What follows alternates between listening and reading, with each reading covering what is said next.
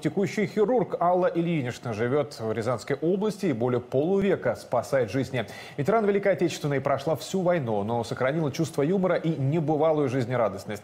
В преддверии Дня Победы она поделилась секретом своей вечной молодости. Надежда Сахаровская далее. Спешу, спешу, спешу. Бегом, бегу на операцию.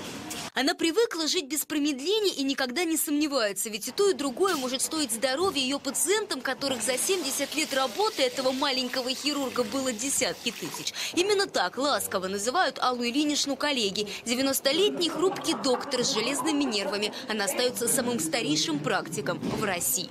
Иди сюда.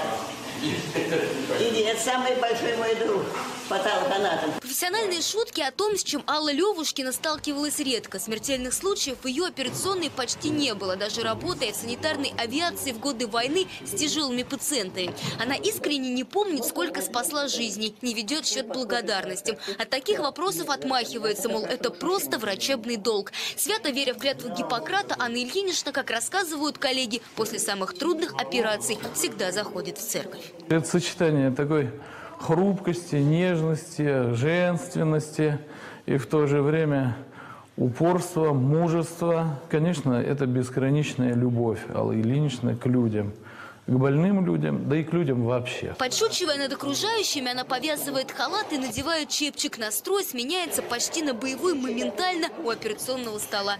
Ей привычно все, кроме внимания прессы. Вы меня только волнуете, а так меня ничего не волнует. Здесь, в Рязанской больнице, у нее есть любимые палаты и постоянные пациенты, а еще ученики. Молодые доктора окружают Анну Ильиничну после консилиумов. Каждое ее слово и опыт для них дорогого стоит. Она обучает хирургов, а потом приходит к ним на операции, уже как ассистент.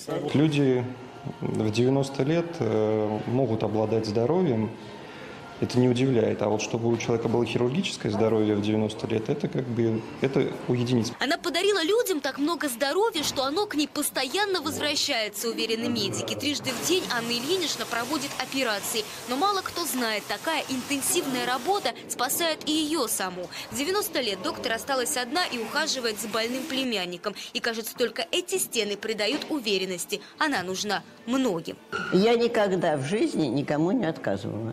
Если я что не могу сделать, я попрошу другого. Но часто даже самые безнадежные случаи она берет на себя. Пациенты доверяют. Перед кабинетом всегда очереди. За консультациями к старейшему хирургу России обращаются даже ночью. Анна Ильинична шутит, что звонками ее иногда просто донимают. Но именно это чувство дает силы. Такой вот профессионал.